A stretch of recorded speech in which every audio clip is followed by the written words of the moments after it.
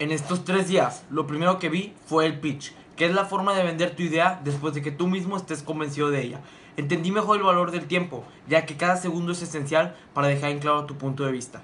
Sé que hay que estar bien preparado e informado para tener la capacidad de desarrollar cualquier tema al hablar. Después aprendí la importancia de cómo hablar en público, teniendo confianza, carisma y seguridad.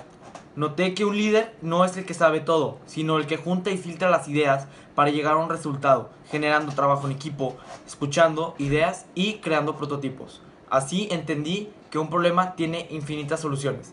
Quiero agradecer al Tecnológico de Monterrey por darme la oportunidad de participar en la segunda etapa. Sin duda aprendí, conocí y compartí, y de eso se trata la vida. Soy Adrián González y gracias.